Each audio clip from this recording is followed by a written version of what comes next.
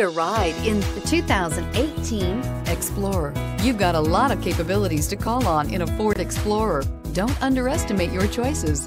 This vehicle has less than 45,000 miles. Here are some of this vehicle's great options. Tire pressure monitoring system, roof rails, traction control, stability control, roll stability control, daytime running lights, braking assist, perimeter alarm, power brakes, battery saver. Take this vehicle for a spin and see why so many shoppers are now proud owners.